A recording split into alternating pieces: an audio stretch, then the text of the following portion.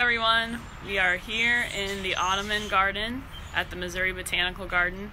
I'm Kristina, and this is Cassidy. Hi. Socially distant as per usual. Um, we are going to show you around some of the spring blooms that are coming up. We spent a lot of time in the back of the garden um, showing you the Japanese garden with all those cherry trees that have really been peaking. Um, but it's been a while since we've been to the front of the garden, so we're going to spend some time there this morning and then we will meander back and see if we can get to those cherry trees another time for another shot of those beautiful peaking blooms. I'm sitting here on the throne in the Ottoman garden, which I'm sure many of you have sat in before. Now let's take a walk around. We have some really nice seasonal displays right now. Hyacinths, which are very, very fragrant. Buttercups, tulips, daffodils. Pause for a second on these.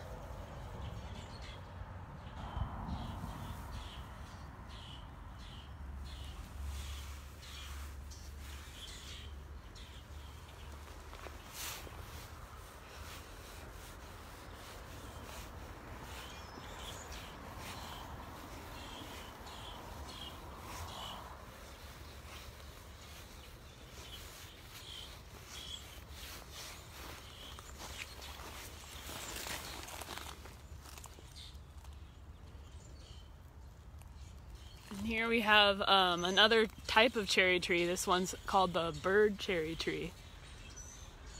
Appropriately named, as you can hear all the birds chattering today.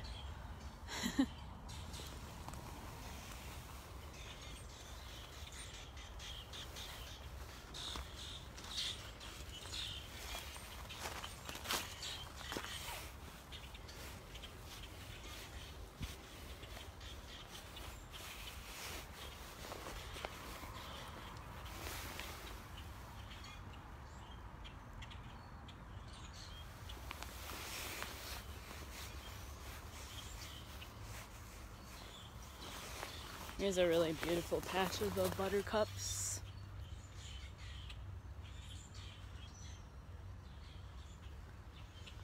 A few more starting to come up around here.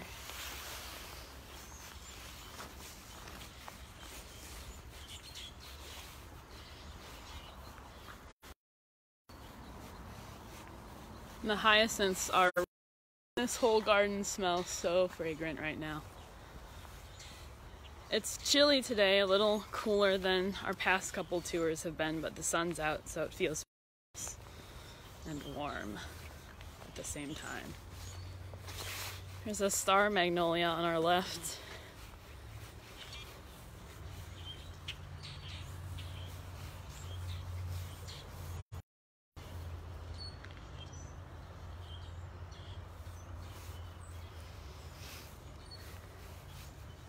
Now here at the Swift Pools, you can see a really, really beautiful display of daffodils and some tulips among them too. Starting to open.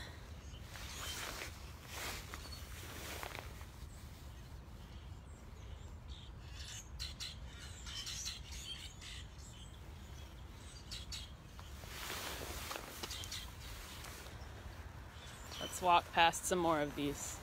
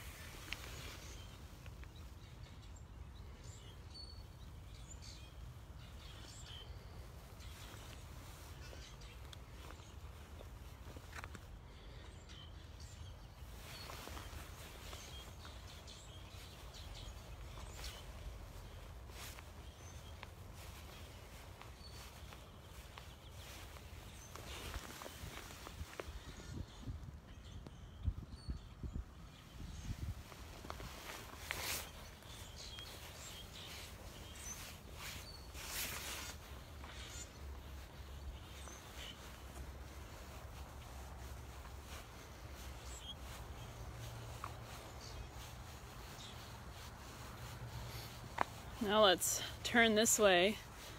We'll walk through the rose garden into the bulb garden.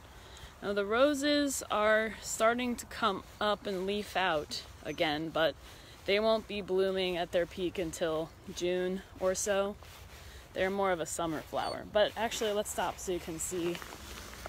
They are starting. And most of them look a lot like this.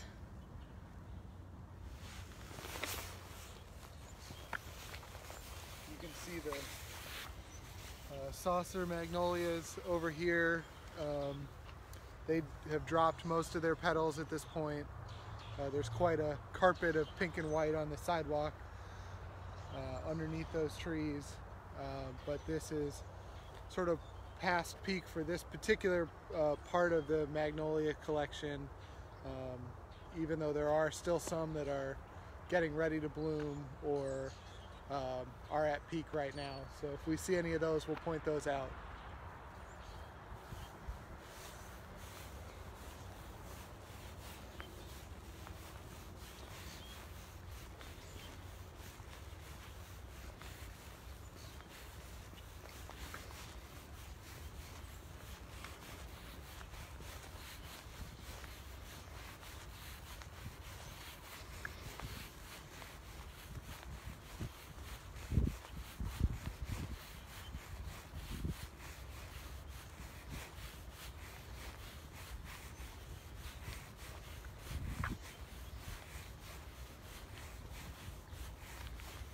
So the bulb garden up here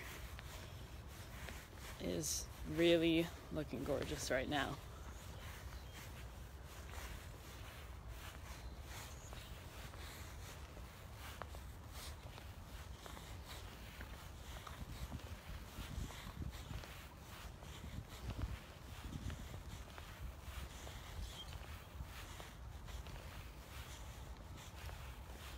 Lots of daffodils, tulips starting to come up.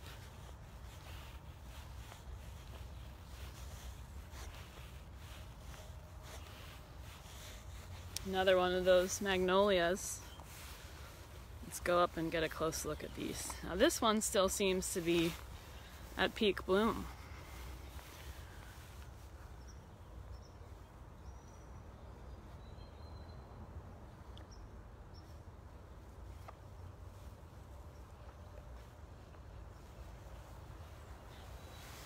Starting to drop some petals though.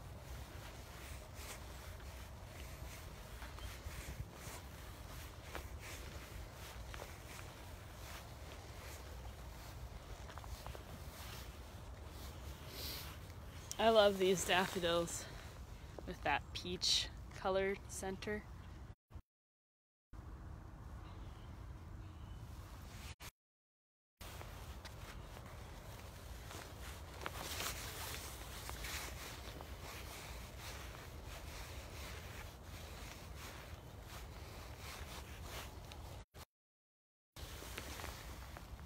There's another one, That's a different kind, but split corona daffodil. So the center of the daffodil is called a corona, and in this case it's um, split compared to here where it's more intact. And so that's just uh, one of the different um, types of daffodils. The garden has 500 varieties of now recognized display garden uh, for daffodils. So particularly here in the bulb garden, there's uh, quite a bit of variety to see in, in color and um, and also in um, the, the type of daffodil that, that we have. So small cupped, large cupped.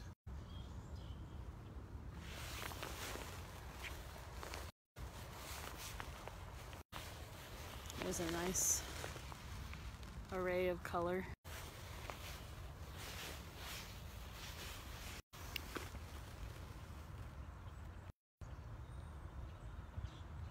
Those are double daffodils. These are double daffodils.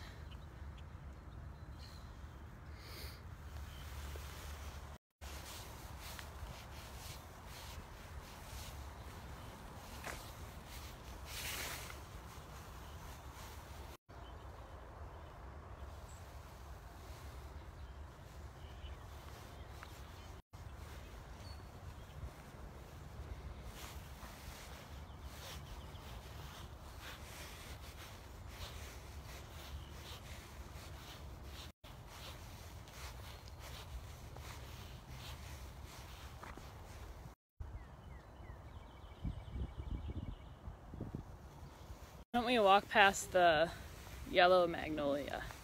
Butterflies? Is that what this one is too? sure what this one is.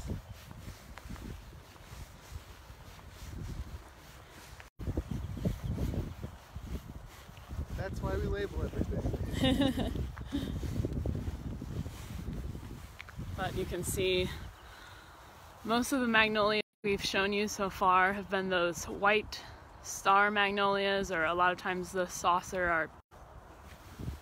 smells good. This one's called Yellow Fever. So, uh, just another yellow uh, cultivar. We get over to it, there's another one called Butterflies that Kristina and I were looking at her, uh, earlier this week.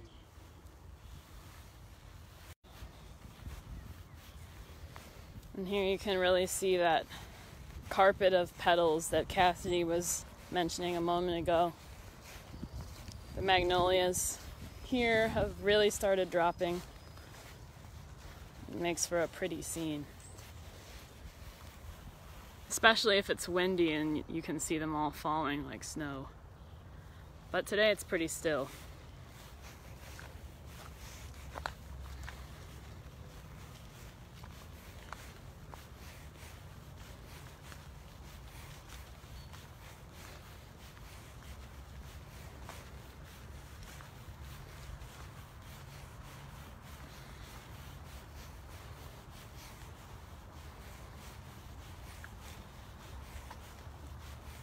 Um, some of you have been asking how you can support the garden during this time.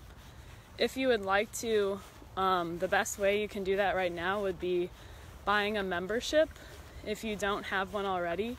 And we actually will not start the year of your membership until after you reopen. So if you are interested in supporting us, that would be a great way to do it and allow you to come and enjoy this beautiful place whenever we're able to reopen to you guys.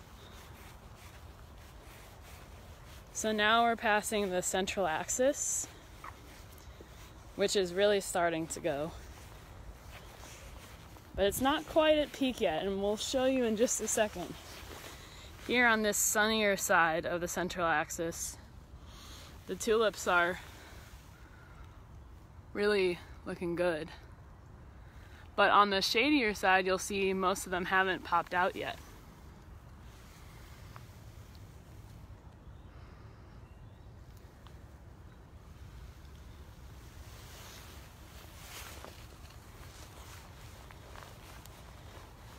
Here we have some more hyacinths. This one's called White Pearl. And these, again, are very, very fragrant, especially in the sun. Really brings that smell out.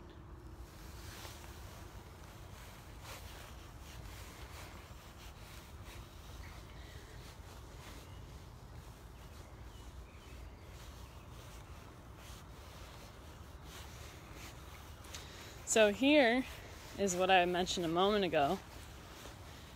In this shady area, also tulips. They need that sun to come up, so they're a little behind. But I think any day now we're gonna hit peak for this whole axis.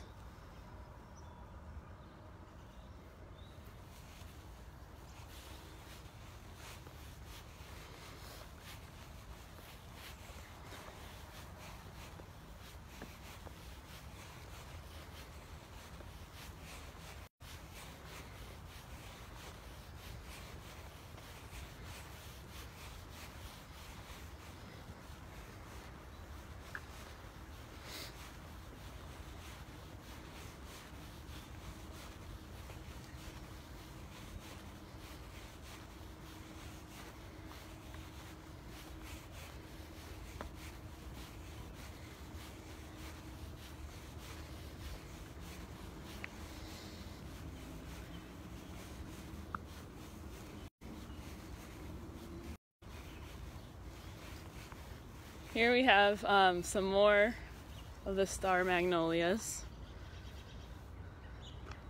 by the south entrance to the climatron.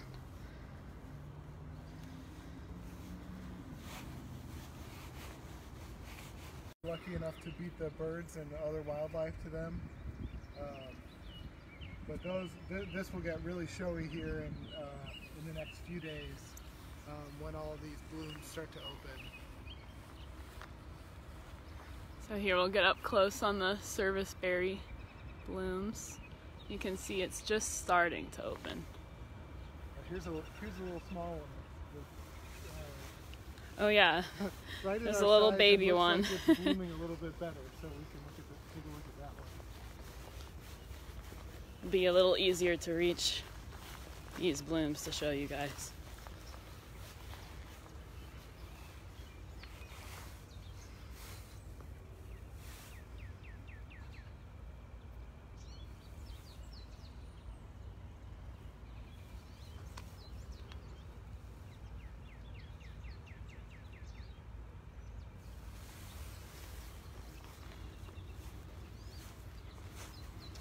Walk over and look at the white red buds.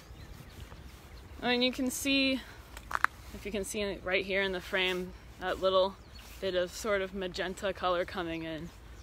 Those are the red buds.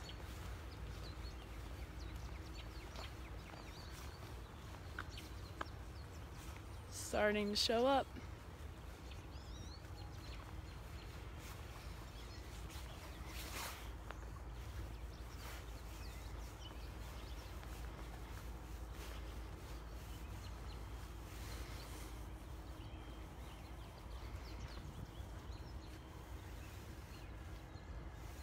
Not quite open yet, but they're getting there.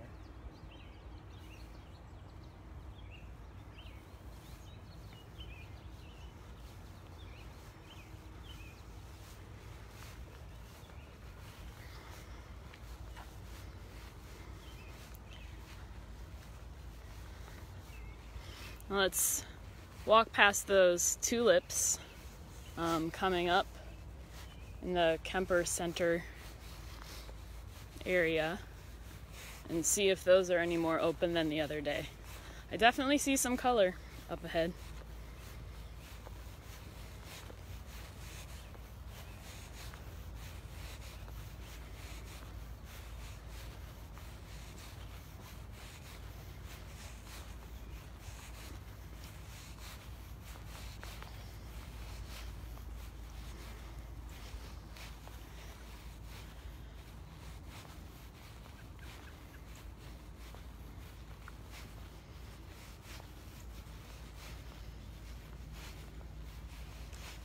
Looks like these tulips are a couple days away from their peak, but they're definitely starting.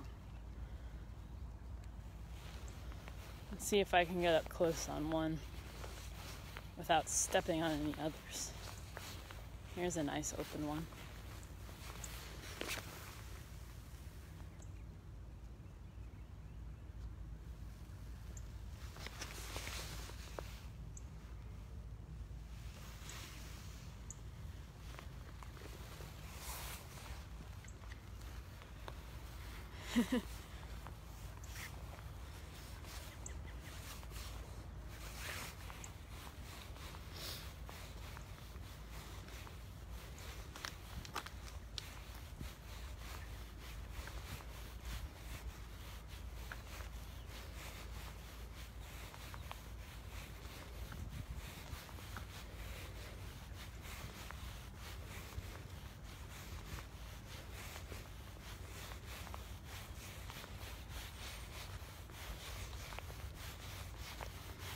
As the sun's coming out, you can really smell the mulch in the grass. It's warming up a bit, or maybe it's just because we've been walking.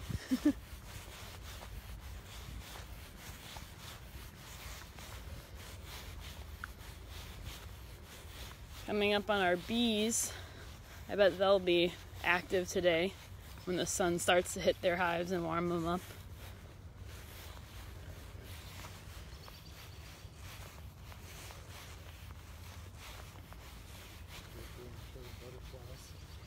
Oh yeah. Um, so here earlier we mentioned that other yellow magnolia.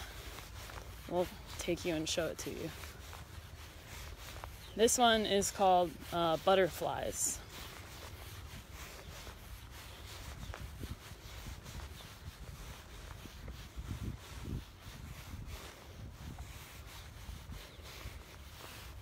And it's really yellow.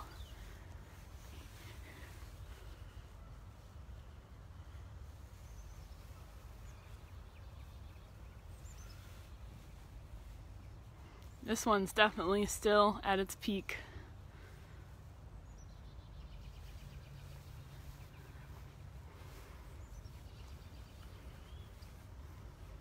I had never noticed this tree until Cassidy pointed it out a couple days ago.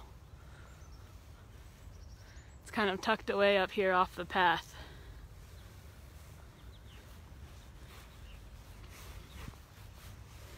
Oh, it looks like these crab apples are starting to go. These are baby ginkgo leaves. These are the, this is a ginkgo tree. These are the leaves just starting to come out. Look at that. You can see the fan shape already.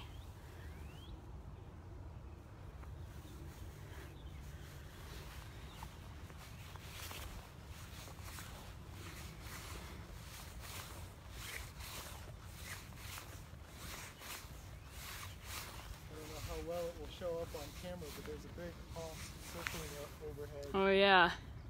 Can I don't know if you guys can see that on the phone camera, but right there in the kind of the center of the screen there's a big hawk circling overhead. Pretty small on the screen, but very cool.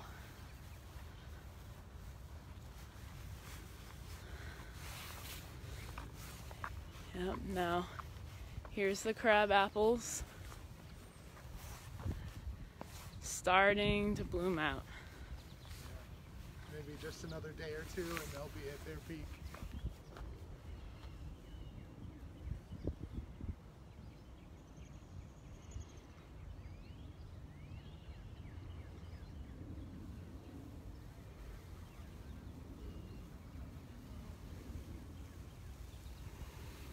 Yes, and the um, purple martin house does have birds nesting in it. I don't see any of them over there today, um, but on a previous tour we did get up close to them.